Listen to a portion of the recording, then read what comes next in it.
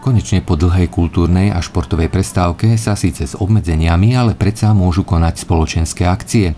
A tak mestá a obce si na tento víkend naplánovali podujatia pre najmenších Medzinárodnému dňu detí.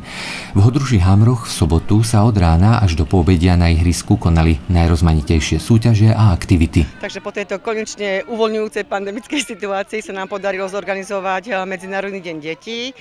Kvôli našim detičkám vlastne. Máme tu nové atrakcie, máme tu velikánsku 35 metrovú prekážkovú dráhu, šmíkalku. Začalo to vlastne tou prekážkovou dráhou, potom sme vlastne spravili prekážky pre detičky, že išli vlastne po dvoch. Keď to ukončili, tak sa tam vlastne nám zapojili aj hasiči, že detičky si vyskúšali aj, čo, čo to obnáša byť hasičom a končilo to vedomostným kvízom. Pred obedom prišli medzi deti záchranné zložky, hasiči, zdravotníci a policajti. Samozrejme, ako to už býva pri takýchto akciách s deťmi, vyhodnotenie jednotlivých družstiev síce bolo, ale víťazmi sa stali všetci. Majú tam pripravené občerstvenie, nakoniec dostanú velikánske, balí, velikánske balíčky a vlastne nakoniec bude diskotéka Stopenovou party. V tých balíčkoch je akože dosť, dosť veľa sladkosti, ale je tam aj ovocie. Mne sa mi páči hasičské auto, že sa tam dá aj trubiť a môžeme si tam niečo aj vyskúšať. Aj policajné auto. No, že je tu policajné auto aj hasiči. Áno, a čo si tam aj, aj si bol vyskúšať? Bol si v autách už? Áno, A čo sa ti na tom na tých autičkách páčilo? no, že húkajú. Najviac sa mi páči, že je tu veľa detí, že sa dá s nimi skamarátiť a tak. Že je tu veľa ako zábav. A ozajstná zábava ešte len prišla, spomínaná penová párty.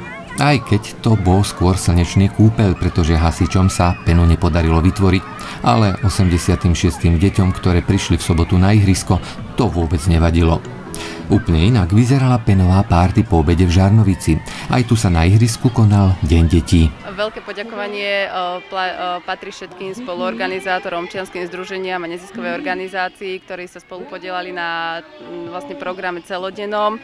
Určite to vlastne o, poďakovanie si zaslúži policajné zložky, ktorí prišli s e, vozidlami, potom sú to dobrovoľný hasičský zbor zo Žarnovice, e, s neziskovou organizáciou aj zo Stefy Žabko, ktorí e, zase zatraktívnili program z minidisco show. Veľké poďakovanie patrí ďalej Centru voľného času, ktorý s Mestským mládežnickým parlamentom a s bike racingom zorganizovali športové súťaže, cyklistický workshop a taktiež sa na tomto dni spolupodielajú aj spolupodiela občianske združenie Lavra, ktoré zase zabezpečilo tvorivé dielne. Ku nám prídu ešte aj plochodrážnici, ktorí nám to završia a dobrovoľný hasičský zbor, tí nás zabezpečia zase takú bodku na mm, takú čerešničku na torte na záver a oni zorganizujú veľkú penovú party, na ktorú sa už deti ohromne tešia. Každý sa ma pýta, že kedy bude, tak bude a teda už e, vlastne to bude, to bude úžasné. Okrem toho si deti mohli zaskákať na veľkom nafukovacom hrade, zajazdiť na pamtrekovej dráhe alebo zúčastniť sa v rôznych iných disciplínach. Z Bystrice prišli deň spríjemniť deťom aj králiky z klobúka, no a najväčšiu radosť urobili deťom dobrovoľní hasiči so spomínanou penovou párty. Tu v Žarnovici si prvýkrát? A ako sa ti tu páči? Dobre, A čo sa ti tu najviac páči? Povedz. skákací hrad. Tá penová party. Najlepšia, keď som celá mokrá.